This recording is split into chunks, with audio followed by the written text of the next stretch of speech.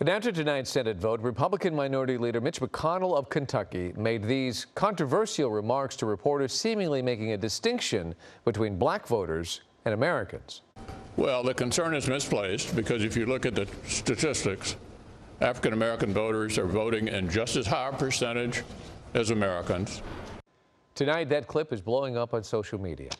Hello, I'm Mark Brown. Get more great ABC7 content by clicking the subscribe button for our YouTube channel and download the ABC7 Los Angeles streaming app on Fire TV, Android TV, Apple TV, and Roku to watch on your TV.